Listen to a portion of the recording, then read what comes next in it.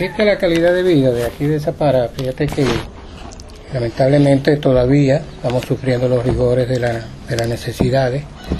Hemos ido, sí hemos ido desarrollándonos poquito a poco con, en la parte de lo que es de educación, la, la escuela ya está formalizada, le falta un toque nada más, pero eso paulatinamente lo vamos teniendo pues. ¿Cómo se llama la escuela? Eh, Unidad Educativa Cacique Nigales.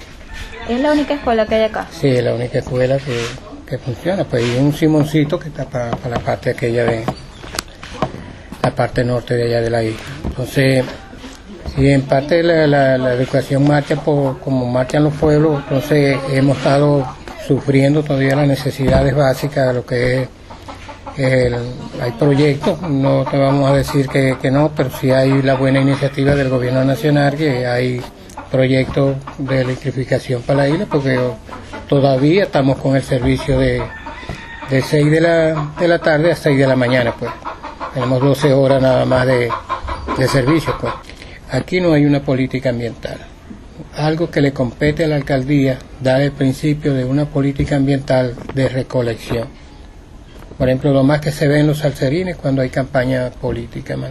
Apenas los vimos ahora hace una semana, los vimos barriendo un poco la isla. Ahora vas a caminar tú para allá para que tus mismos ojos vean que en verdad hace. Pues.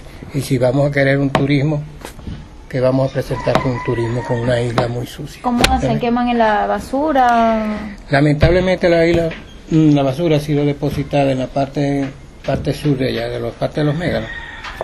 Ha sido depositada la, la basura al aire libre, creando una contaminación ambiental. De Zapara han venido mucha gente y cada año están viniendo más. Y este, por ejemplo, ahora en el carnaval, que te invito a que vengas, vas a ver que va a haber mucha afluencia de gente.